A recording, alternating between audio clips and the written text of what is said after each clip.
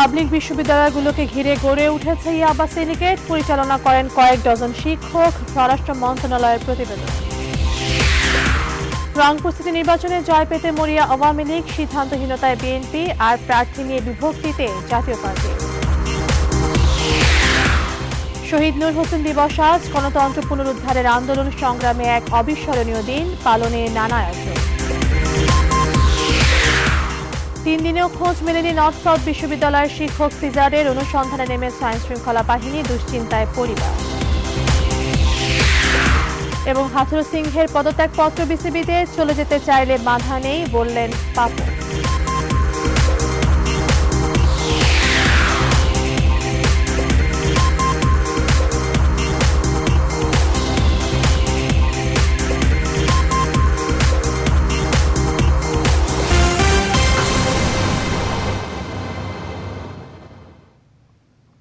স্বাগত news twenty four সংবাদের সাথে আছি আমি তাবাসুম আহমেদ। দেখছিলেন শিরোনাম, এবার চলে যাব পুরো সংবাদে।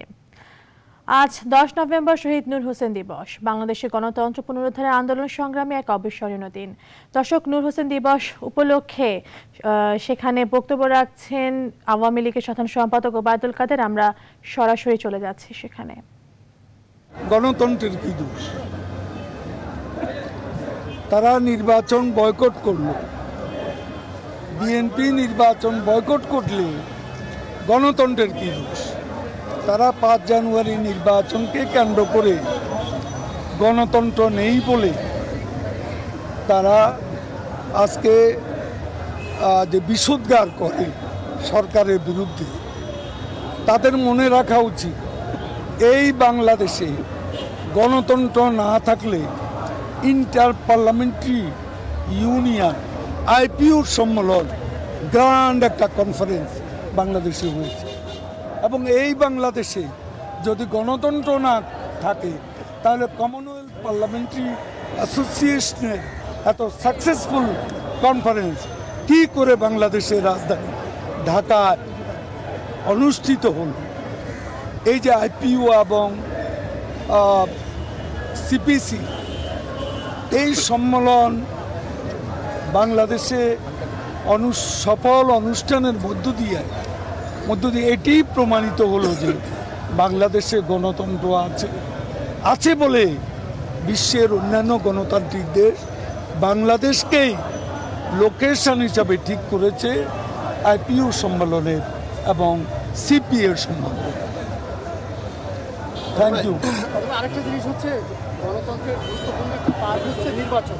তবে আগামী সংসদ নির্বাচনে বিএনপি কি কোনো আহ্বান থাকবে কিনা এই দিনে বিএনপিকে আহ্বান করলেও তারা নির্বাচনে আসবে, না করলেও নির্বাচন তারা আসবে। তাদের নেতারাই বলেছেন যে যে কোনো পরিস্থিতিতে তারা নির্বাচনে আসবে। কাজে এখানে আহ্বানের তো আর কোনো প্রয়োজন নেই। তবু আমরা চাই আমরা চাই সেটা হলো প্রতিদ্বন্দ্বিতামূলক একটা নির্বাচন। হোক সেজন্য বিএনপি একটা বড় দল তারা অংশ নিলে নির্বাচনটা প্রতিদ্বন্দ্বিতামূলক হবে। সেজন্য আমরা চাই যে বিএনপি নির্বাচনে আসুক। সেক্ষেত্রে কাদের ভাইকে কোনো সংলাপের সম্ভাবনা আছে কিনা? সংলাপ কেন? দরকার তো নেই। সরকারের কথা বলছে কথা বলছে। তত্ত্বাবধায়ক সরকার তো পাগল আর শিশু ছাড়া। আর কেউ বুঝে না। এ কথা কি শেখ হাসিনার? এ কথা বেগম খালেদা জি। মনে আছে? পাগলা শিশু ছাড়া আর কেউ বুঝে না। এখন কখনো সহায়ক, কখনো তত্ত্বাবধায়ক আসলে তারা কি চায়? আসলে তারা কি চায় সেটা আমরা জানতে। কাদের ভাই সমাবেশ করার অনুমতি দিয়ে কি আওয়ামী লীগ নমনীয় হচ্ছে বিএনপিকে নির্বাচন আনার জন্য? এটা কোনো নমনীয় ব্যাপার না। এটা ব্যাপার হচ্ছে যে বিএনপি সমাবেশের অনুমো- অনুমতি চেয়েছে। তো অনুমতি দেওয়ার ব্যাপারে কোনো বাধা তো কখনো ছিল না। কিন্তু সমস্যা হচ্ছে তারা অনুমতি নিয়ে তাদের এই যাবৎ এমন একটা জনসভা হয়নি, যেখানে কোনো বিশৃঙ্খলা হয় এই বিশৃঙ্খলাটাকে ভয় পায় ভয় পায় বলেই আমরা এই বিষয়টা নিয়ে দ্বিধাগ্রস্ত ছিলাম। আমরা অনুমতি অনুমতি সবসময় দিতে চাই। এটা রাজনৈতিক দল নিবন্ধিত, তাদের অবশ্যই সভা সমাবেশ করার অধিকার আছে। এবং সরকার কতটা গণতান্ত্রিক, শেখ হাসিনার সরকার এই অনুমতি দানের মধ্য দিয়ে আবারও প্রমাণিত দর্শক, শহীদ নূর হোসেন দিবস উপলক্ষে শহীদ নূর হোসেন চত্বরে শ্রদ্ধা জানাতে এসে বক্তব্য রাখছিলেন আওয়ামী লীগের সাধারণ সম্পাদক ওবায়দুল কাদের। আমরা সরাসরি ছিলাম সেখানে। চলে যাচ্ছি পরবর্তী প্রসঙ্গে। পাবলিক বিশ্ববিদ্যালয়গুলোকে ঘিরে গড়ে উঠেছে ইয়াবা সিন্ডিকেট। আর এই সিন্ডিকেট পরিচালনায় রয়েছেন কয়েক ডজন শিক্ষক। স্বরাষ্ট্র মন্ত্রণালয়ের প্রতিবেদনেই উঠে এসেছে এমন তথ্য। তবে পুলিশ বলছে কাউকে ছাড় দেওয়া হবে না। রাজশাহী থেকে আরও জানাচ্ছেন কাজী সাহেব। বিশ্ববিদ্যালয়গুলোতে নানাভাবে চলছে ইয়াবার কারবার। দীর্ঘদিন ধরে এই কারবার চলছে, এমন তালিকায় নাম এসেছে, রাজশাহী বিশ্ববিদ্যালয়, রাজশাহী প্রকৌশল ও প্রযুক্তি বিশ্ববিদ্যালয় এবং পাবনা বিজ্ঞান ও প্রযুক্তি বিশ্ববিদ্যালয়ের নাম। ইয়াবার এই কারবারের সঙ্গে জড়িত বিশ্ববিদ্যালয়ের শিক্ষক, শিক্ষার্থী ও কর্মকর্তা কর্মচারীরা। স্বরাষ্ট্র মন্ত্রণালয়ের প্রতিবেদনে উঠে এসেছে, রাজশাহী বিশ্ববিদ্যালয়ের শিক্ষক ছয়জন কর্মকর্তা কর্মচারী আটজন ছাত্রলীগ নেতা বারো জন, ছাত্রদল নেতা তিনজন শিক্ষার্থী আটজন রাজশাহী প্রকৌশল ও প্রযুক্তি বিশ্ববিদ্যালয়ের শিক্ষক একজন, কর্মকর্তা কর্মচারী সাতজন, বহিরাগত দুইজন ও পাবনা বিজ্ঞান ও প্রযুক্তি বিশ্ববিদ্যালয়ের কর্মকর্তা কর্মচারী চারজন ইয়াবা সিন্ডিকেটে জড়িত। তবে পুলিশের আইজি বলছেন, মাদক সিন্ডিকেট যত শক্তিশালী হোক, ছাড় দেওয়া হবে না। যেই দলেরই হোক, যত প্রফেশনালি হোক, যদি তার প্রতি এভিডেন্স থাকে যে সে মাদক ব্যবসার সাথে জড়িত, তাহলে এমনকি তার বাড়ি, সম্পদ বাজেপ্ত করার বিধান আইনে আছে। সে পর্যন্ত আমরা যাব। কাজে এই ব্যাপারে কোনো রকম অনুকম্প দেখানো কোনো রকম তার প্রতি নমনীয়তা দেখানো কোনো রকম সুযোগ নেই। বিশ্ববিদ্যালয়ের সিনিয়র শিক্ষকরা বলছেন বিষয়টি উদ্বেগের। আর মাদকাসক্ত শিক্ষকের কাছ থেকে ভালো কিছু আশা করা যায় না। বিশ্ববিদ্যালয় আসলে একটা স্বপ্নের জায়গা। সেই স্বপ্নের জায়গাটা যদি দুঃস্বপ্নের দিকে যায় চলে তাহলে তো দেশ জাতি এটা নিয়ে কিছুই ভাবতে হবে না। তাদের সবারই উচিত যে এই সাপ্লাই লাইনটাকে বন্ধ করা এবং বিশাল যে বিশ্ববিদ্যালয় তাকে শক্ত হাতে মোকাবেলা করা এ ঘটনায় উদ্বেগ জানিয়ে কঠোর ব্যবস্থা নেওয়ার ঘোষণা দিয়েছেন উপাচার্য। যে শিক্ষকরা যখন এই অনৈতিক কাজে জড়ায় তখন তাদের কাছে যারা শিক্ষা গ্রহণ করে তারা অনৈতিক কাজে জড়াবে এটাই স্বাভাবিক। আমার মনে হয় এর বিরুদ্ধে একটি সামাজিক আন্দোলন দরকার। জঙ্গি অর্থায়নের যোগান দিতেই বিশ্ববিদ্যালয়ে এমন সিন্ডিকেট গড়ে উঠতে পারে এমন আশঙ্কা প্রকাশ করা হয়েছে স্বরাষ্ট্র মন্ত্রণালয়ের ওই গোপন প্রতিবেদনে। কাজী সাহেদ রাজশাহী। রংপুর সিটি কর্পোরেশন নির্বাচনে গুরুত্বের সাথে বিবেচনা করছে আওয়ামী লীগ ও জাতীয় পার্টি। তবে বিএনপি অংশগ্রহণ করবে কিনা এখন আনুষ্ঠানিক সিদ্ধান্ত নেয়নি। আওয়ামী লীগ বলছে, যোগ্য প্রার্থীকে মনোনয়ন দেওয়া হবে আর জাতীয় পার্টি আশা করছে আওয়ামী লীগ জাতীয় পার্টির জন্য সহানুভূতি দেখাবে। এদিকে জাতীয় সংসদ ও মন্ত্রিসভায় থাকা আওয়ামী লীগ ও জাতীয় পার্টি নির্বাচনী আচরণ ও বিধিমালা মেনে চলার অঙ্গীকার করেছে। বিস্তারিত হাসান পারভেজের প্রতিবেদনে। আগামী একুশ ডিসেম্বর দলীয় প্রতীকে রংপুর সিটি কর্পোরেশন নির্বাচন।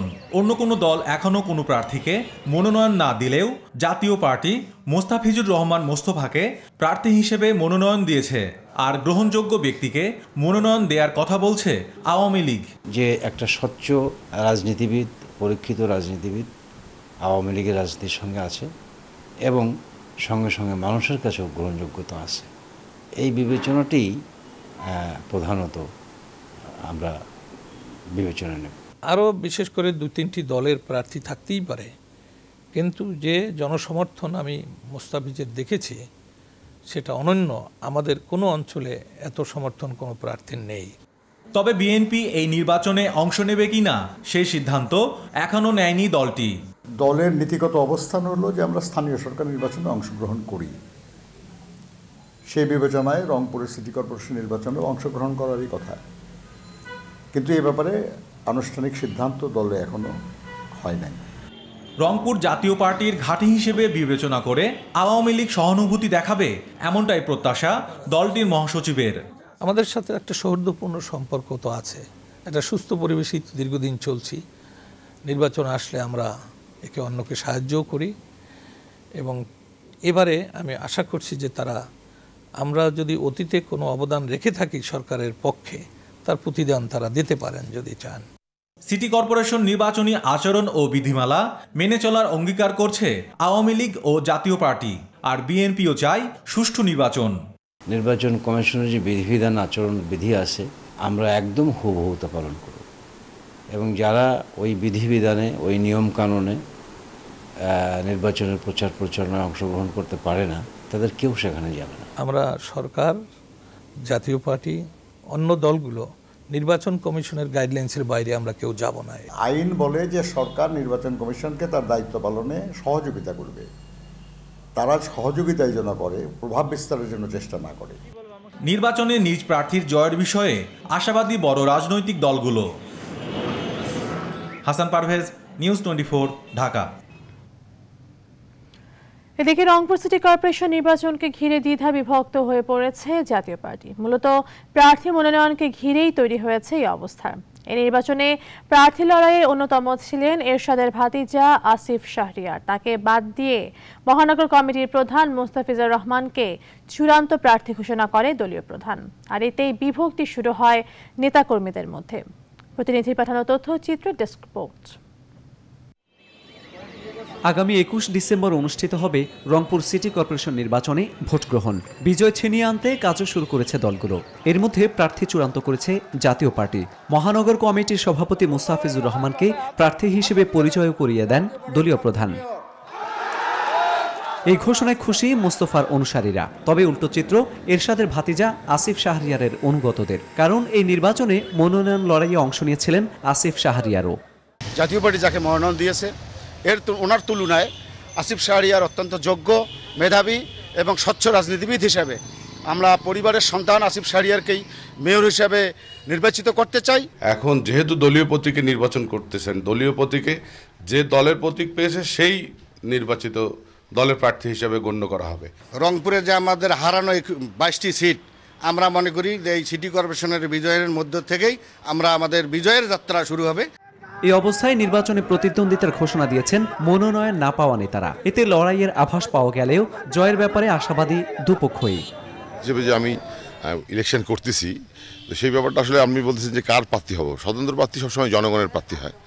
তো আমি জনগণের প্রার্থী হিসেবে আমি ভোট করার চেষ্টা করতেছি। পার্টির চেয়ারম্যান আমাকে সেভারেল টাইম বিভিন্ন সভা সমাবেশে তার প্রার্থী হিসেবে উপস্থাপন করেছে। যার কারণে আমি একটু আমার মনে হয় আমার দিকটা আমি একটু পজিটিভ দিক দেখছি। এ অবস্থায় সমঝোতার আশা করছেন অনেকে। তা না হলে আগামী জাতীয় নির্বাচনে এর প্রভাব পড়বে বলে মনে করছেন নেতাকর্মীরা।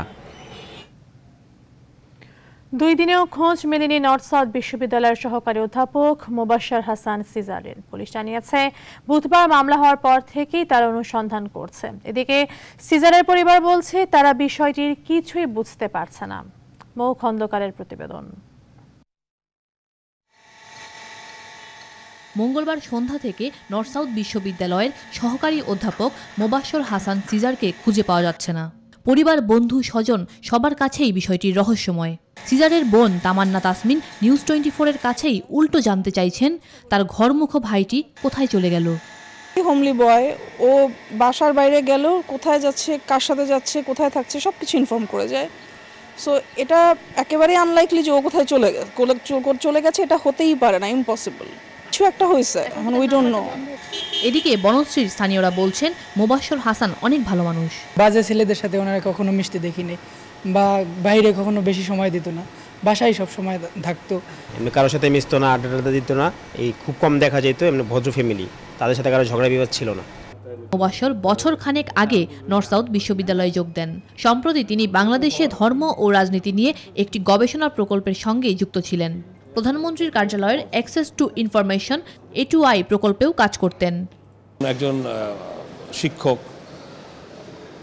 উনি আসলে নাই যে কথাটা শোনা যাচ্ছে বা যে যেভাবে ওনাকে মিসিং করা হচ্ছে বা বাবা মা যেভাবে ক্লেম করেছে আসলে কি হচ্ছে আমরা ওইটা বোঝার চেষ্টা করছি।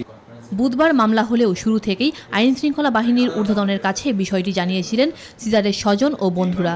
সিজার অপহরণ না নিখোঁজ সে ব্যাপারে তদন্ত করা হচ্ছে বলে জানিয়েছে পুলিশ।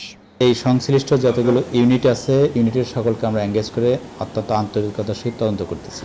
এই মুহূর্তে তদন্তের খুব একটা অগ্রগতি নাই। অগ্রগতি থাকলে পরবর্তীতে অবশ্যই আপনাদের আমরা ডিটেলস জানাতে পারব। মোবাশ্বর এমন সময় নিখোঁজ হলেন যখন বাংলাদেশে নিখোঁজ ব্যক্তিদের তালিকা দীর্ঘ হচ্ছে। Mou Khandakar news twenty four Dhaka. Rohingya সংকট প্রসঙ্গ। ছয় হাজার রোহিঙ্গা বাংলাদেশ মিয়ানমারে নোম্যান্স ল্যান্ডে আছেন আড়াই মাস ধরে। মিয়ানমারের একেবারে সীমান্তে তাদের বাড়ি, কিন্তু দেশটির সেনাবাহিনী তাদেরকে নিজ গ্রামে প্রবেশ করতে দেয় না। বিশ্ব সম্প্রদায়ের কাছে তাদের দাবি, নিজ দেশে যেন ফেরার ব্যবস্থা করা হয়। ইসমতারা ইস্যুকে সাথে নিয়ে শেখ চালালের ছবিতে আরও জানাচ্ছেন অন্তরা বিশ্বাস। নোম্যান্সল্যান্ডে আটকে আছে তাদের জীবন। পাহাড় পেরুলেই নিজেদের গ্রাম, কিন্তু মিয়ানমারের বর্ডার গার্ড সবসময় পাহাড়ে থাকে। রোহিঙ্গাদের যেতে দেয় না নিজ গ্রামে, নিজ বাড়িতে। এমন অভিযোগ তাদের। তাই বান্দরবানের ঘুমধুমের তমরু সীমান্তই তাদের শেষ ভরসা। সীমান্তে নির্ধারিত পোশাক পরে দায়িত্ব পালনের কথা থাকলেও সাধারণ পোশাকেই ঘুরতে দেখা যায় মিয়ানমারের বর্ডার গার্ডদের। মিয়ানমার সীমান্তে শিশুরা খেলে। তার কিছুটা দূরেই রোহিঙ্গা শিশুদের মানবেতর জীবন। যে জীবন বন্দি কয়েক গজের মধ্যেই। খাল পেরুলেই বাংলাদেশ। কিন্তু বাংলাদেশে নয়, তারা থাকতে চান মিয়ানমারেই। এমনটা জানান মিয়ানমারের তমরু এলাকার চেয়ারম্যান আফতার আলম। অবস্থা তো আমরা বিশ্বের একখান বিচার দিই বিশ্ব আমরা কি করে দি পারে আর নিরাপত্তা আর একখান হিউম্যান রাইট লাই আমরা আমরা সময় কি? তাহলে বিশ্বে যদি আর হিউম্যান রাইট টেন গড়ে দি পারে দিলে তোমার জগ হলে আমরা যাইবি বর্মাত। আর নাগরিকতা আর জাগা, জমি সব সম্পদ আমরা যদি আবার রিটার্ন ফাইট দিলে আর নিশ্চয় যাইবি মিয়ানমারের মংডুর তমরু লেফট তমরু রাইট রাইমনখালী ফেন্ডাত্তাপাড়া সহ বিভিন্ন সীমান্ত এলাকা থেকে অন্তত ছয় হাজার রোহিঙ্গা আশ্রয় নিয়েছেন এখানে।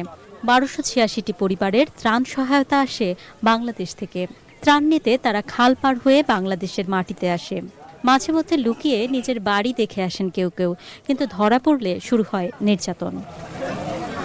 শরণার্থী হওয়া পৃথিবীতে শরণার্থী হওয়ার মতন তিতা অশান্তি আর কিছু নাই দুনিয়াতে আমরা শরণার্থী হবলা মানে আমরার লাইফে আর চাই না কিন্তু আমি মায়ানমার আমার জন্মভূমি হচ্ছে মায়ানমার আমি যতটুকু সম্ভব আমি যে নিঃশ্বাসটা নিব ওই যেন আমার মায়ানমারের বাতাসের নিঃশ্বাস হয় We have no intention to enter Bangladesh. When situation will be stable, we we want to come back as soon as possible to, to our homeland, our native land.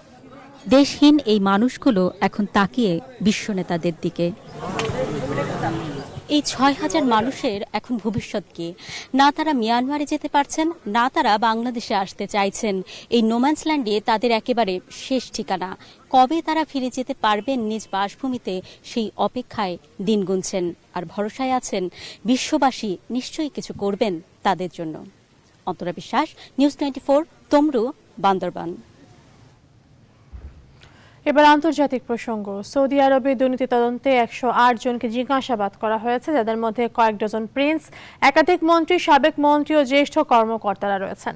দেশের বাইরেও তদন্তের কাজ শুরু করেছে সৌদি কর্তৃপক্ষ। দেশটির শীর্ষ পর্যায়ের একজন কর্মকর্তা বলেছেন, অবৈধভাবে অন্তত একশো বিলিয়ন ডলার আত্মসাৎ করা হয়েছে বলে সন্দেহ করছেন তারা। সৌদি আরবের attorney general Sheikh Saud Al Mojeb বৃহস্পতিবার এক বিবৃতিতে বলেন, গত তিন বছর ধরে তদন্তের ভিত্তিতে আমরা ধারণা করছি কয়েক দশকে ঘুষ, দুর্নীতি ও অর্থ আত্মসাতের মাধ্যমে অন্তত একশো বিলিয়ন ডলার অপব্যবহার হয়েছে। জিজ্ঞাসাবাদে ডাকা দুশো আট জনের মধ্যে সাতজনকে কোনো অভিযোগ ছাড়াই মুক্তি দেওয়া হয়েছে বলে জানান তিনি, তবে তাদের নাম প্রকাশ করা হয়নি। এই তদন্তে কয়েক ডজন প্রিন্স, একাধিক মন্ত্রী ও ধনকুবেরকে আটকের কথা গত সপ্তাহে ঘোষণা করে সৌদি কর্তৃপক্ষ, যাকে যুবরাজ মোহাম্মদের প্রভাব আরও সুসংহত করার প্রচেষ্টা হিসেবে দেখা হচ্ছে।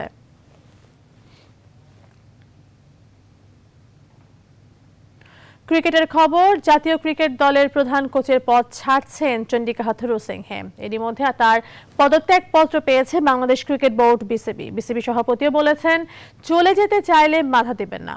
লঙ্কান গণমাধ্যমের খবর, নিক পোথাসে স্থলাভিষিক্ত হচ্ছেন হাথুরু। আনুষ্ঠানিকভাবে বিসিবির সঙ্গে সমঝোতা হয়ে গেলে টাইগারদের সঙ্গে প্রায় তিন বছরের গাঁট ছড়া সম্পর্কের ইতি ঘটবে। নাজমুস সাকিব জানাচ্ছেন বিস্তারিত। পুরো বাংলাদেশ বিপিএল উত্তেজনায় টইটুম্বুর তখন গরম খবর হয়ে এলো চণ্ডিকা হাতুরু সিংয়ের সমাপ্তি। অবশ্য শ্রীলঙ্কায় খবরটা বাসি হয়েছে ততক্ষণে। বাংলাদেশ টের পাবার আগেই শ্রীলঙ্কান আইল্যান্ড সহ দেশটির আরও বেশ কিছু অনলাইন সংবাদ মাধ্যম হাতুরু সিংকে শ্রীলঙ্কার কোচ হিসেবে বরণ করে নেয়ার খবর ছেপেছে। শ্রীলঙ্কার স্পোর্টস ঘরানায় অন্যতম জনপ্রিয় online the Papare dot com বলে দিয়েছে, দুহাজার আঠারো সাল থেকেই শ্রীলঙ্কার হেড কোচ হচ্ছেন চণ্ডিকা হাতুরু সিং। তিন বছরের চুক্তিতে চণ্ডিকাকে নিয়োগ দিতে যাচ্ছে লঙ্কান ক্রিকেট বোর্ড, এমন খবরও জানানো হয় প্রতিবেদনটিতে। বাংলাদেশ ক্রিকেট বোর্ড এমন খবরে বিচলিত নয়, জানিয়েছেন নাজমুল হাসান পাপন। হাতুরু সিংয়ের সঙ্গে মুখোমুখি বসতে চায় বোর্ড। আপসেট না, একটু অবাক হচ্ছি। মানে এটাতে মনে হচ্ছে ইমোশনাল ইস্যুজ আর মানে এতদিন ওর সাথে যা দেখেছি ইমোশন ছাড়া। কিন্তু যেহেতু আমার সাথেও একবার জানালো না, কথা বলল না বা হয়নি, তাতে মনে হচ্ছে কিছু একটা হয়েছে যেটা নিয়ে সে আর কথাই বলতে চাচ্ছে না বা হয়তো আমাকে ফেস করতে চাচ্ছে না বা কিছু একটা, আমি জানি না। গেল জুনে গ্রাহাম ফোর্ড পদত্যাগ করার পরই শ্রীলঙ্কান কোচের পদ শূন্য হয়। বর্তমানে অন্তর্বর্তীকালীন কোচ হিসেবে কাজ চালাচ্ছেন নিক পোথাস। লঙ্কা দুর্গে হাতুরু সিং অধ্যায় নতুন নয় কিন্তু। দু হাজার দশ সালে সহকারী কোচ থাকা অবস্থায় তাকে বরখাস্ত করেছিল এসএলসি। এদিকে লঙ্কান ক্রিকেট বোর্ডের সিইও অ্যাশলেডি সিলভার বরাতে জানা যায়, নিক পোথাস সহ আরও তিন চারজন ভালো মানের কোচের সঙ্গে আলাপ হচ্ছে দেশটির ক্রিকেট বোর্ডের। জানুয়ারির আগেই শ্রীলঙ্কার হেড কোচ নিয়োগ দিতে পারবেন তারা। ও একটা এনজয় করতো টিমটা নিয়ে, খেলা নিয়ে সব কিছু নিয়ে, সারাক্ষণ খেলা নিয়ে অ্যানালিসিস করতো, সারাক্ষণ খেলা নিয়েই ছিল। আমরাও পছন্দ করেছি, ঠিক আছে? এখন তার যদি ওই জিনিসটা ভালো না লাগে তাকে জোর করে রাখার তো প্রশ্নই ওঠে না। আগে জানতে হবে তার সমস্যাটা কি? কেন সে রেজিগনেশনটা বা ছেড়ে দিতে চাচ্ছে? এটা যদি না জানতে পারি যদি দেখি যে ওটা আমাদের কাছে অ্যাকসেপ্টেবল এবং ওটা সলিউশন আমাদের কাছে আছে তাহলে আমরা অফার করব। আর যদি দেখি সলিউশন নাই তাহলে নাই তাহলে তো কিছু করার নেই। Nazmus Sakib news twenty four কাজে না আসলে নিউজ টোয়েন্টি ফোর সংবাদের এই পর্যায়ে নিচ্ছি বিরতি আমাদের সাথে থাকুন।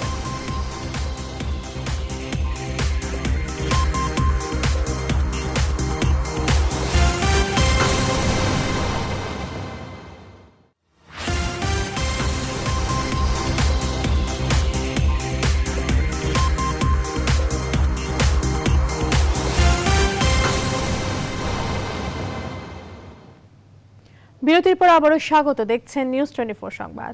এবারে তৃণমূলের সমস্যা সম্ভাবনা নিয়ে আমাদের নিয়মিত আয়োজন বাংলাদেশ লাইভ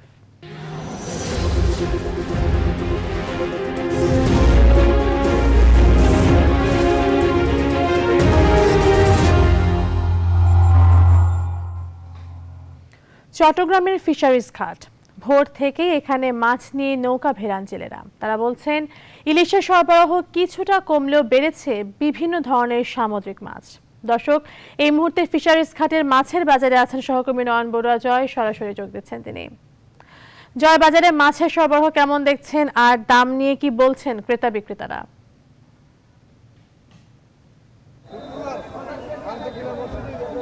ধন্যবাদ তাবাসুম, আপনি যেমনটা বলেছিলেন, আসলে আপনিও জানেন যে শীতকাল আসলে কিন্তু বঙ্গোপসাগরে সামুদ্রিক মাছের কিন্তু বিচরণ ঘটে। কিন্তু সেই কারণে কিন্তু এখানে যারা মাছ শিকারী রয়েছেন, আসলে তারা সমুদ্রের সমুদ্রের মধ্যে রাত যাপন করে, দিনের মধ্যে কিন্তু তারা এসে, আমি যেখানে আছে আসলে ফিশারি ঘাট, এটা দেশের সবচেয়ে বড় কিন্তু মাছের আড়ত। এই জায়গা থেকে কিন্তু দেশের বিভিন্ন জায়গায় কিন্তু সেই সামুদ্রিক মাছগুলি এই জায়গা থেকে কিন্তু সরবরাহ করা হয়। কিন্তু আমরা তাবাসুম, আপনাকে দেখাতে চাচ্ছি, আপনি অবশ্যই দেখ দেখছেন কিন্তু আসলে বাইশ দিন ধরে যে ইলিশ ধরা বন্ধ ছিল, শুধু ইলিশ মাছ নয়, আসলে সামুদ্রিক যে মাছগুলি রয়েছে, সব মাছে কিন্তু তাদের ধরা বন্ধ থাকার পর থেকে কিন্তু আমরা দেখছি, কিন্তু আজকে বাজারে এসে আমরা দেখতে পাচ্ছি সামুদ্রিক মাছ কিন্তু অনেক অনেক মাছ কিন্তু আমরা দেখতে পাচ্ছি। আপনি অবশ্য লক্ষ্য করছেন যে ইলিশ আসলে এখন বর্তমানে যে ইলিশ পাওয়ার কথা ছিল, আসলে সেই ইলিশের সরবরাহ কিন্তু আমরা অনেকটা কম দেখতে পাচ্ছি, কিন্তু আপনি বলেছিলেন আসলে ইলিশের সরবরাহ কম, কিন্তু ইলিশের সরবরাহ কম তাকলিও কিন্তু আমরা দেখতে পাচ্ছি, আপনাকে দেখাতে চাচ্ছি কিন্তু সমুদ্রে যে অন্যান্য মাছগুলো রয়েছে, আপনাকে দেখাচ্ছে রূপছাদা মাছ এবং কোরাল মাছ সহ, একদম কই কোরাল সহ অন্যান্য যে সামুদ্রিক রয়েছে, সব মাছের কিন্তু আমরা সমাহার বলতে পারি। আসলে অনেক আমরা দেখতে পাচ্ছি। কিন্তু এখানে যারা ক্রেতা রয়েছেন, তাদের সাথে আমরা কথা বলেছি। তারা বলছিলেন, আসলে আমাদেরকে অভিযোগ করেছেন, আসলে বাজারে অনেক সরবরাহ থাকলেও মাছের সরবরাহ থাকলেও তারা বলছিলেন আসলে মাছের দামটা অনেকটা বেশি বলে আমাদেরকে জানিয়েছেন। কিন্তু আমরা কথা বলতে চাই আসলে এখানে অনেক ক্রেতা রয়েছেন, আসলে তাদের সাথে আমরা জানতে চাই আসলে মাছের দামটা কীরকম বলে মনে করছেন। আমরা জানতে চাই আপনার থেকে আসলে এই বাজারে তো আপনি এসেছেন সকাল থেকে বাজার করার জন্য, আসলে মাছের দামটা কীরকম বলে মনে করছেন? মাছের দাম সাধারণ মানুষের কেনার বাইরে। কারণ এমনি মাছ দেখা যাচ্ছে, কিন্তু যখন ওই মাছ কিনতে যায়, তখন তারা কিছু কিছু মাছ বাইরে করে আবার কিছু কিছু ভিতরে দরদাম ঠিক হলে আবার বের করে। কিন্তু এটা ভরা মৌসুম ইলিশের। সুতরাং এই ভরা মৌসুমে ইলিশ মানুষ, বিশেষ করে বাঙালিরা, ইলিশ মাছ দিয়ে দুটো ভাত খাবে সেটা প্রত্যাশা করে। কিন্তু এখানে দেখা যাচ্ছে যে সাধারণ মানুষের কিনার বাইরে ইলিশের দাম। সুতরাং কেন হচ্ছে, কি হচ্ছে, তথাপি আমাদের যথেষ্ট সন্দেহ হচ্ছে, আমাদের এখানে ইলিশ মাছ বাজারে না আসে এটা কোনো অন্যদিকে কোনো চলে যাচ্ছে কিনা, সেটা যদি সরকার আমার মনে হয় নজর দেয়, তাহলে আমার মনে হয় এখানে সাধারণ মানুষ, ইলিশ সহ অন্যান্য, এটা আমরা এখানে যেখানে দাঁড়িয়ে আছি, সেটা চট্টগ্রামের সবচেয়ে বড় মাছের বাজার। এইখানে মাছের দাম যদি বৃদ্ধি হয়, তাহলে অন্যান্য জায়গাতেও এটা প্রভাব পড়বে। তাই আমার মনে হয় সরকার এটাকে যদি একটু সুনজর দেয়, এখানে অনেক মাছ আসতেছে এবং মাল আসছে। সুতরাং এটা সরবরাহর কমতি আছে, সে কথাও বলা যাচ্ছে না। তো সুতরাং তবে এরা যারা মাছ ধরে তাদের থেকে বরাদ দিয়ে ইলিশের যা মানে মাছ যেভাবে ধরতেছে, সেইভাবে বাজারে আসতেছে না। সুতরাং বাজারে যদি আসে, আমার মনে হয় ইলিশ আরও বহু সস্তা হবে। এতে কিন্তু সরকারের নজরদারি লাগবে। নতুবা এই ইলিশ অনেক দেশেই খুব বেশি চাহিদা আছে। এটা অন্য দেশে চলে যেতে পারে। সেটা যদি না হয়, অন্য দেশে যাওয়া যদি বন্ধ হয়, তাহলে আমরা, আমাদের মনে হয় আমরা আয়ত্তের মধ্যে ইলিশের দাম পাবো। ধন্যবাদ আপনাকে। আমরা তাবাসুম, আমরা এতক্ষণ ধরে কথা বলেছি, এখানে যারা ক্রেতা রয়েছেন, তাদের সাথে তারা বলছিলেন, আসলে কিন্তু মৎস্য অধিদপ্তরের কর্মকর্তাদের সাথেও আমরা কথা বলছি। আসলে ভরা মৌসুমে কিন্তু তারা বলছিলেন, আসলে ইলিশ ইলিশ কিন্তু যে সমুদ্রের মধ্যে যে ইলিশ পাওয়ার কথা ছিল সেই ইলিশ কিন্তু তারা এখনও পর্যন্ত না ফেলেও তারা বলছেন, আসলে মৎস্য অধিদপ্তর কর্মকর্তারা বলছেন আরও কয়েকদিন পরে কিন্তু তারা বলছেন আরও অনেক কিন্তু ইলিশ কিন্তু সমুদ্রের মধ্যে ধরা পড়বে বলে তারা মনে করছে। কিন্তু আমরা কথা বলতে চাই, এখানে যারা ক্রেতা রয়েছেন আরও অনেকজন রয়েছেন, আপনারা যে বাজারে এসেছেন, আসলে ইলিশ মাছ কিন্তু বাজারে কীরকম দেখছেন বলে আপনি মনে করছেন? বাজারে অনেক ইলিশ মাছ আছে। আমাদের চট্টগ্রামের বৃহত্তর একটা এই বাজার। এই বাজার থেকে আমরা সংগ্রহ করি বিভিন্ন বিয়ে এবং বিভিন্ন আনুষঙ্গিক এখানে অনুষ্ঠানের জন্য আমরা মাছ নিতে আস- কিন্তু বাজারের সাথে এখানে কোনো সামঞ্জস্য নাই।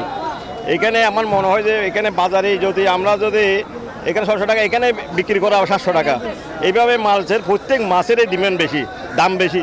ইলিশ মাছ বলে এক কেজির উপরে গেলে চোদ্দোশো টাকা দাম দাম বলে থাকে। সাতশো, যেগুলো এক কেজি নিচে আছে, এগুলো বলে থাকে আটশো টাকা। তো কীভাবে মাছ মাছ এইভাবে এই আমরা খাব? এখানে দেশের সবচেয়ে গরিব যারা মাছ আসে মানে মাছ কিনতে আসে, এখানে চলে আসে। আর এখানে এখন সচরাচর এখন মানে কোনো অনুষ্ঠানে মাছ ছাড়া চলে না। কিন্তু মাছের বাজার যদি এইভাবে হয়ে যায়, তাহলে আমরা সাধারণ ক্রেতারা কোথায় যাব? এটার জন্য সরকারকে আমি অনুরোধ করছি দৃষ্টি দৃষ্টি রাখার জন্য। মাছ কোনো, এরা স্টক করে রাখছে। আমরা যদি চাই পঞ্চাশ কেজি দিলে, আর পঞ্চাশ কেজি ওখান থেকে নিয়ে আসে। তাহলে একশো কেজি এভাবে মিলাই দেয়। তাহলে যার ধরুন আমরা সাধারণ ক্রেতারা দুর্ভোগে পড়ে যাচ্ছি। বিশেষ করে এই মৌসুমে, শীতকালে মৌসুমে মাছ পাওয়া খুবই মানে ধন্যবাদ আমরা এতক্ষণ ধরে কথা বলেছি। আসলে যারা ক্রেতা রয়েছেন, তাদের সাথে তারা বলছিলেন আসলে বাজারে যে বাজারে আমরা এসেছি, তা সেই বাজারে কিন্তু সামুদ্রিক মাছের কিন্তু সমাহার বলা যায়। কিন্তু অনেক মাছ থাকলেও তারা বলছিলেন মাছের দাম বেশি হওয়ার কারণে তারা অনেকটা হতাশের কথা আমাদেরকে জানিয়েছেন। কিন্তু আসলে যারা জেলা প্রশাসনের যারা নিয়ন্ত্রক রয়েছে, বাজার নিয়ন্ত্রক রয়েছে, তাদের, তারা, তাদের যদি বাজার মনিটরিং থাকে, তারা বলছিলেন আসলে মাছের দামটা অনেকটা কমবে বলে তারা মনে করছেন। তো এই ছিল আমার এখানকার সর্বশেষ তাবাসুম। জয় আপনাকে ধন্যবাদ। দর্শক, চট্টগ্রামের ফিশারিজ ঘাটের মাছের বাজারে সরবরাহ এবং দাম সম্পর্কে জানাতে বাংলাদেশ লাইভে যোগ দিয়েছিলেন সহকর্মী নয়ন বড়ুয়া। জয়। এবার ফার্স্ট সিকিউরিটি ইসলামী ব্যাংক অর্থ বাণিজ্যের সংবাদ।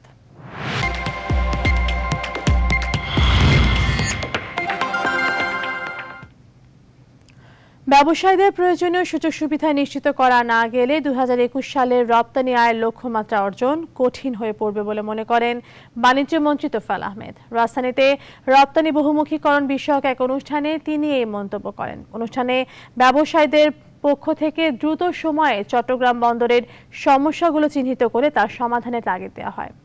আরও জানাচ্ছেন সুলতান আহমেদ।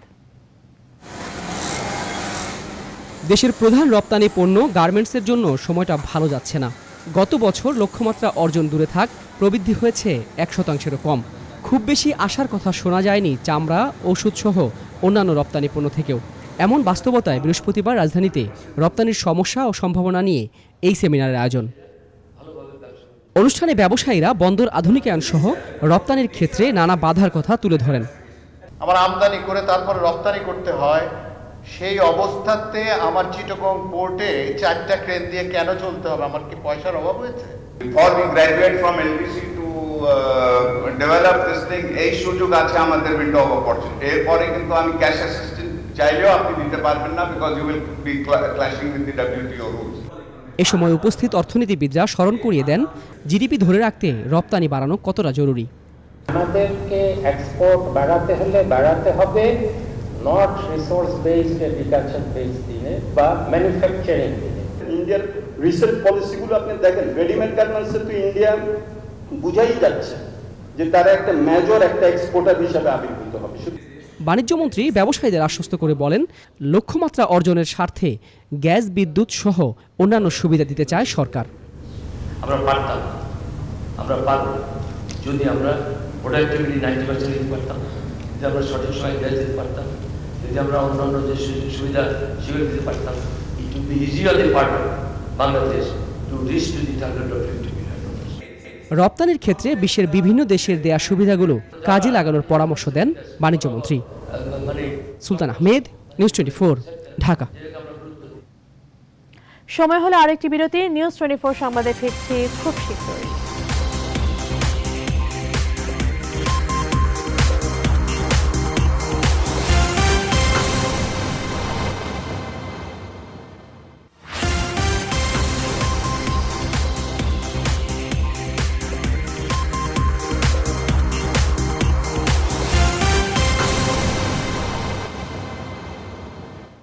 আবারও স্বাগত দেখছেন নিউজ টোয়েন্টি ফোর সংবাদ।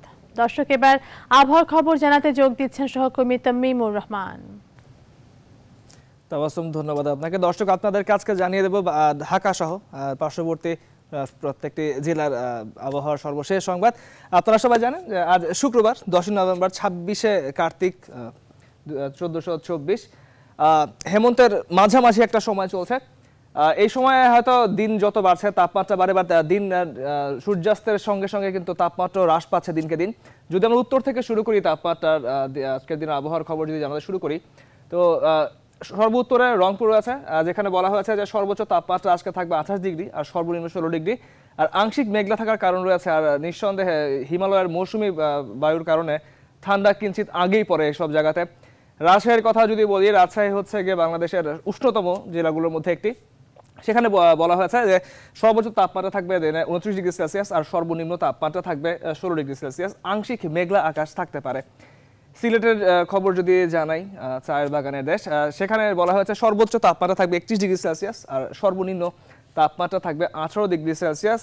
সেখানে আংশিক মেঘলা আকাশ থাকার সম্ভাবনা রয়েছে। আংশিক উপকূলীয় অঞ্চল খুলনা খুলনাতে বলা হয়েছে সর্বোচ্চ উনত্রিশ ডিগ্রি সেলসিয়াস থাকবে সারাদিন আর সর্বনিম্ন তাপমাত্রা থাকবে পনেরো ডিগ্রি সেলসিয়াস। আকাশ পরিষ্কার থাকার সম্ভাবনা সবচাইতে বেশি। চট্টগ্রামের খবর যদি জানাই বন্দর নগরী চট্টগ্রামের সর্বোচ্চ তাপমাত্রা আজকে থাকতে পারে তো হচ্ছে ত্রিশ ডিগ্রি সেলসিয়াস আর সর্বনিম্ন নামবে পনেরো ডিগ্রি সেলসিয়াস। উপকূলীয় অঞ্চলে কোনো রকম সতর্ক সংকেত দেখানো হয়নি বা আবহাওয়া অফিস থেকে জানানো হয়নি।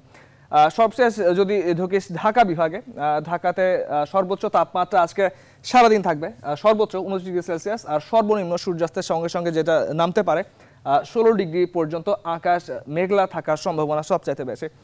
এখন যদি জানিয়ে দেই, ঢাকা শহর সহ সারা দেশের আর্দ্রতার মাত্রা আজকে পঁচাশি শতাংশ আর্দ্রতা থাকার সম্ভাবনা রয়েছে বাতাসে। আর সূর্য, সূর্যাস্তর কথা যদি জানাই, তো আজকে সূর্য ডুবে সন্ধে পাঁচটা পনেরোতে, আর আগামীকাল সূর্যাস্ত হবে ভোর ছটা দশ মিনিটে।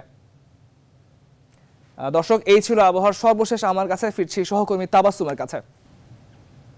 তামিমুর, আপনাকে অসংখ্য ধন্যবাদ। দর্শক, আবহাওয়ার খবর জানাতে যোগ দিয়েছিলেন সহকর্মী Tamimur Rahman. News twenty four সংবাদে নিচ্ছে আরেকটি বিরতি, আমাদের সাথে থাকুন।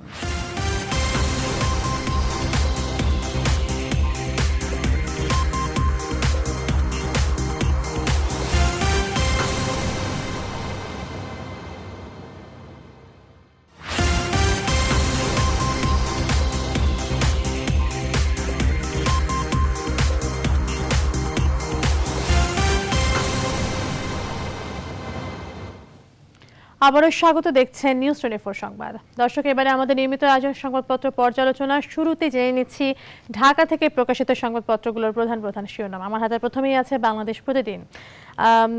ক্ষমতা মানদণ্ডে গুরুত্বপূর্ণ ছয় দেশের প্রতিনিধি বাংলাদেশ সফর করছেন। এই নাম রয়েছে, ঢাকায় ছয় হেভিওয়েট সফর, আসছেন চীন, জাপান, জার্মানি, কানাডা, সুইডেনের পররাষ্ট্রমন্ত্রী ও মার্কিন সিনেট কমিটি।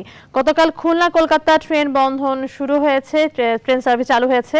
সেটি নিয়ে শিরোনাম রয়েছে, সেটি হলো খুলনা কলকাতা বন্ধন ট্রেন চালু। আমার হাতের এরপর রয়েছে কালের কণ্ঠ। কালের কণ্ঠ গতকাল যে ট্রেন সার্ভিস চালু হয়েছে, সেটি নিয়ে শিরোনাম করেছে, সেটি হলো মৈত্রী বন্ধনে আরও সুদৃঢ় সম্পর্ক, ভিডিও কনফারেন্সে হাসিনা মোদি। এছাড়া বৈশাখ সিটি নির্বাচন নিয়ে শিরোনাম রয়েছে, সেটি হলো হাসানাত ও সারওয়ারের দোয়া প্রার্থী, সম্ভাব্য প্রার্থীরা। চন্ডিকা হাথুরু সিংহে বাংলাদেশের জাতীয় ক্রিকেট জাতীয় দলের কোচ, উনি পদত্যাগের, পদত্যাগ করেছেন, সেটি নিয়ে শিরোনাম রয়েছে, সেটি হলো হাথুরু সিংহের পদত্যাগ, কারণ খুঁজছে বিসিবি। প্রথম আলো রয়েছে এরপর আমার হাতে। আজ শহীদ নূর হোসেন দিবস এটি শিরোনাম রয়েছে, সেটি হলো এই স্লোগান, সেই স্লোগান, শহীদ নূর হোসেন দিবস আজ।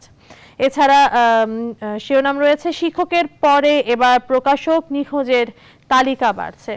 দর্শক, এরপর রয়েছে আমার হাতে যুগান্তর। যুগান্তর শিরোনাম করেছে বেসিক ব্যাংকের ঋণ চালিয়ে নিয়ে একটি, সেটি হলো বাচ্চুর শক্তির উৎস কোথায়? এছাড়া তারাও খুলনা থেকে যে ট্রেন সার্ভিস চালু হয়েছে, সেটি নিয়ে শিরোনাম রয়েছে। সেটি হলো মৈত্রীর বাঁধনে যাত্রা শুরু, বন্ধন এক্সপ্রেসের উদ্বোধন করলেন শেখ হাসিনা ও নরেন্দ্র মোদী। দৈনিক ইত্তেফাক রয়েছে, এরপর আমার হাতে। দৈনিক ইত্তেফাক ঋণ খেলাপি নিয়ে শিরোনাম রয়েছে। সেটি হলো, খেলাপি ঋণ কেন বাড়ছে? নানা প্রণোদনা দিলেও কিছু মুখ্য সমস্যার সমাধান হচ্ছে না। এছাড়া রয়েছে, গণপ্রতিনিধিত্ব আদেশে রাখা হচ্ছে ইভিএম, ম্যাজিস্ট্রেসি ক্ষমতা সহ সেনা মোতায়েনের প্রস্তাব বাদ। এছাড়া শিরোনাম রয়েছে আরেকটি, সেটি হলো যে খুলনা কলকাতা ট্রেন সার্ভিস উদ্বোধন। সমকাল রয়েছে, এরপর আমার হাতে সমকাল শিরোনাম করেছে বেশ কিছু, তার মধ্যে প্রাধান্য পেয়েছে গণপ্রতিনিধিত্ব আইনে থাকছে ইভিএম অর্থাৎ ইসি মানে বলেছে যে ইভিএম আংশিকভাবে ব্যবহার করা হবে, সেটি নিয়ে শিরোনাম এছাড়া রয়েছে বাংলাদেশ ভারত সম্পর্ক নতুন উচ্চতায় ট্রেন সার্ভিস চালু হওয়ার উপর এই শিরোনামটি করা হয়েছে। সবশেষে আমার হাতে রয়েছে দৈনিক জনকণ্ঠ। দৈনিক জনকণ্ঠ সবচেয়ে প্রাধান্য দিয়েছে গতকাল যে ট্রেন সার্ভিস চালু হলো খুলনা, কলকাতার মধ্যে সেটিকে। তা হলো আরও দৃঢ় হোক বন্ধন, ভিডিও কনফারেন্সে শেখ হাসিনা ও নরেন্দ্র মোদী। এছাড়া রয়েছে প্রধান বিচারপতি এস কে সিনহার ছুটি আজ শেষ। উনি ছুটিতে গিয়েছিলেন প্রায় এক মাস আগে। সেটি আজকে শেষ হচ্ছে। এরকম একটি শিরোনাম করেছে দৈনিক জনকণ্ঠ। দর্শক, আপনাদেরকে জানাচ্ছিলাম, ঢাকা থেকে প্রকাশিত সংবাদপত্রগুলোর প্রধান প্রধান শিরোনাম। এবারে আমরা চলে যাব রাজশাহীতে। সেখান থেকে যোগ দিয়েছেন সহকর্মী কাজী সাহেব শাহেদ, রাজশাহী থেকে প্রকাশিত সংবাদপত্রগুলোর প্রধান প্রধান শিরোনামগুলো আমাদেরকে জানাবেন।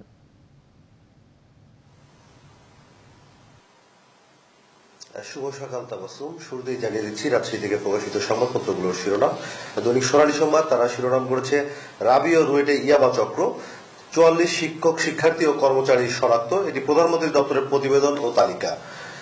দৈনিক সাতশাহীন তারা শিরোনাম করেছে, নেতাদের যুদ্ধে অস্থির রাজশাহী বিএনপি বিভক্তিতে ক্ষুদ্র তৃণমূল। এছাড়া তাদের আরেকটি শিরোনাম, বাঘাই পরীক্ষার হল থেকে বেরিয়ে জেএসসি পরীক্ষার্থী নিখোঁজ।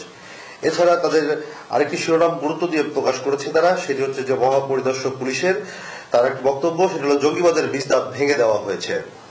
দৈনিক আমাদের রাজশাহী তারা শিরোনাম করেছে, শিশুদের বইয়ের বোঝা আইনেও কমছে না। এছাড়া যৌনতিযোগ সিরাপে ভরে গেছে রাজশাহী এটি তাদের আরেকটি শিরোনাম। দৈনিক সোনার দেশ, তারা শিরোনাম করেছে বন্ধনের জোর হাসিনা মোদীর। কালকে যে বন্ধন এক্সপ্রেস ট্রেনটির উদ্বোধন হয়েছে, সেটিকেই তারা গুরুত্ব দিয়ে প্রকাশ করেছে। এছাড়া তাদের আরেকটি শিরোনাম হচ্ছে শহীদ নূর হোসেন দিবস আজ। দৈনিক উত্তরা প্রতিদিন তারা শিরোনাম করেছে, চার গ্রুপে বিভক্ত রাজশাহী বিএনপি। এছাড়া শহীদ নূর হোসেন দিবসটি তারা গুরুত্ব দিয়ে প্রকাশ করেছে। ছিল রাজশাহী থেকে প্রকাশিত সংবাদপত্রগুলোর শিরোনাম। এ নিয়ে আজ আমাদের সঙ্গে আলোচনায় স্টুডিওতে উপস্থিত হয়েছেন উত্তরা সম্পাদক সিনিয়র সাংবাদিক আব্দুল্লাহ মাহমুদ বাবলু। যেন বাবলু আপনাকে স্বাগত জানাই। শুরুতে আপনার কাগজের যে শীর্ষ শিরোনাম সেটি নিয়ে একটু আলোচনা শুরু করতে চাই। সেটি হলো চার গ্রুপে বিভক্ত রাজশাহী বিএনপি। গণমাধ্যম কর্মী আমরা যারা তারা তো বিভিন্ন রাজনৈতিক দলের উপরে একটু নজর রাখি। তো বিএনপি কে আসলে কীভাবে দেখছেন এই সময়ে? এই সময়ের কথা বলতে গেলেও কিছুটা আমরা যদি পিছন ফিরে তাকাই যে বিএনপি কিন্তু বিভক্তি সেই সময় থেকে ছিল। তখন একটি সময় ছিল, সেটি আমরা এভাবে বলতাম যে মিনু গ্রুপ এবং নাদিন গ্রুপ। এখন কিন্তু সেই বিভক্তিটা চারটি গ্রুপে রূপ নিয়েছে। আর বর্তমান সময়ে এই আপনি যে যে কথাটা বললেন যে আমরা যেভাবে দেখছি যে বর্তমান সময়ে যে এই যে বিরোধী দল আন্দোলন সংগ্রামে যাবে আসলে তারা ঠিক এই গ্রুপিং নিয়ে এবং এই দ্বিধা বিভক্তি নিয়ে কিন্তু এই কাগজ কলমই তাদের আন্দোলন সীমাবদ্ধ হয়ে আছে। আর বিশেষ করে এখন চারটি গ্রুপ বলতে যে মিনু শফিকুল হক মিলন একটি গ্রুপ আবার মোসাদ্দিক হোসেন বুলবুল আর তোফাজ্জল হোসেন তপু। এটি এরা দুজন মিলে একটি গ্রুপ আবার এদিকে নাদিম গ্রুপ আবার সেই সাথে যোগ হয়েছে শাহিন শওকত গ্রুপ এই যে চারটি গ্রুপ অর্থাৎ এটি কিন্তু যখন কমিটি ঘোষণা করা হয় বিএনপি তারপর থেকে এটি কিন্তু প্রকাশ্য রূপ নিয়েছে। আগে আমরা জানতাম, বড় দলের গ্রুপিং থাকতেই পারে, কিন্তু এদের যে গ্রুপিং এটি কিন্তু প্রত্যাশিত না জনগণের কাছে। আর আপনি জানেন যে রাজশাহীকে আমরা সাধারণত বিএনপি অধ্যুষিত এলাকা বলি এবং দীর্ঘদিনের এবং আমরা যদি অতীতেও ফিরে যাই, সেখানে এক সময় আওয়ামী লীগের এত ছিল মানে সে সময় কিন্তু জাসদের মঈনুদ্দিন মানিক এখানে জিতেছিল। এই সমস্ত প্রেক্ষাপট থেকে পরবর্তীতে আওয়ামী লীগ সরকার গভর্নমেন্ট ফর্ম করলে এখানে কিন্তু একটা অবস্থা পরিবর্তন হয়। পরিবর্তন আসলেও, আর এদের গ্রুপিং এর কারণে যে রাজশাহীতে কার্যত বিএনপির যে সমস্ত আন্দোলন সংগ্রাম যা কিছুই বলেন সেটি কিন্তু দেখা যায় যে নাম সর্বস্ব বা তারা আন্দোলন সংগ্রামে বলছেন যে এদের গ্রুপিংটা অনেক আগে থেকে। কিন্তু আমরা তো নির্বাচনের সময় দেখি যে বিএনপি আবার ঐক্যবদ্ধ হয়ে কাজ করে। না এটি একটি বিষয় যে নির্বাচনটা হয় মাক্কাতে তো বিএনপি তো কখনোই চাইবে না যে আমরা তারা নৌকায় ভোট দিবে। সেখানে তাদের দ্বিধাপ্রবৃত্তি থাকলেও তারা কিন্তু সেখানে এগিয়ে যায়। এখন যেটি দেখা যাচ্ছে যে তাদের এই গ্রুপিং এর কারণে তারা হয়তো এরকম হতে পারে যে সেইভাবে অংশগ্রহণ করছে না। কিন্তু যেহেতু তারা রাজনীতিতে সক্রিয়, হয়তো সেই সময় তারা আবার এক হয়ে যাবে। তো এখন যে অবস্থাটা বিরাজ করছে তাতে কিন্তু আসলে বিএনপির জন্য একটি অশনি সংকেত। তো এই যে অবস্থা গ্রুপিং যদি আমরা বলেই থাকি বা গ্রুপিং যে প্রকাশ্য হয়েছে আগামীতে জাতীয় সংসদ নির্বাচন আছে সিটি কর্পোরেশন নির্বাচন আছে এতে কোনো প্রভাব পড়বে বলে আপনি মনে করছেন কিনা বিএনপি প্রার্থীর ক্ষেত্রে? এই যেহেতু দলীয় প্রতীকে নির্বাচন হবে তো তারপরে এখন পর্যন্ত যেটি যে আওয়ামী লীগের কথা আমরা যতদূর জানি যে সেটি নির্ধারিত হয়ে গেছে।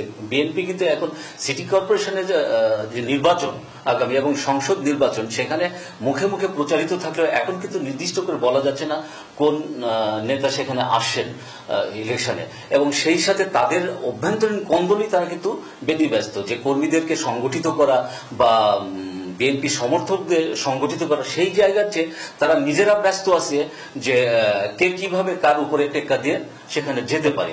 আর এই যদি অবস্থায় সাধারণ লোকজনের ভিতর যে ইয়েটা কাজ করছে তারা চিন্তা করছে যে এরা কি দেশের স্বার্থে কাজ করছে বা দলের স্বার্থে কাজ করছে না নিজেদের ক্ষমতার জন্য বা নিজেদের সেই অভিষ্ট লক্ষ্যে যাওয়ার জন্য কাজ করছে? এটি নিয়ে একটি প্রশ্ন তৈরি হয়েছে। হ্যাঁ, এই যে গেল আমরা আরেকটি বিষয় নিয়ে একটু আলোচনা করতে চাই।